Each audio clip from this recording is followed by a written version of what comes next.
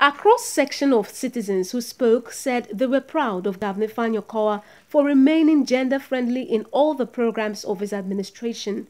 The people urged the newly sworn-in female commissioners to make the state proud and be role models to other women and girls.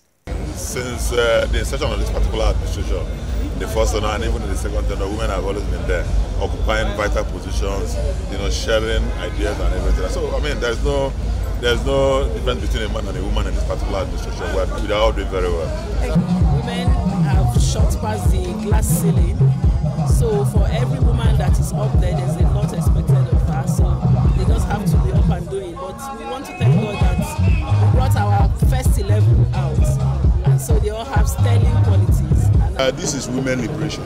And Oga has made it mandatory that in his administration, he's going to cooperate women apart from five women being a commissioner, go and find out the deputy chairman of all the local government. They're essentially women. The time is come. They're taking it now. But let them go back home. Put themselves together, put the hands together, and support the government. Some of the commissioners thanked Governor Ifeanyi Okowa for giving them the opportunity to serve and promised to work with a sense of urgency in actualizing the stronger Delta vision of his administration. He means well, and I'm so happy.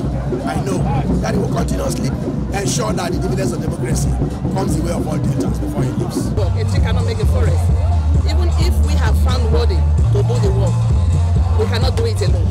We need support from everyone. We're not going to rest on our asses or maybe leaving any stone unturned. Uh, it's time to work.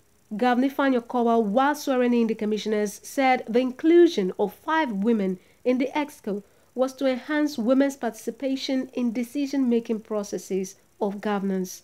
Unisemi Ezia reporting.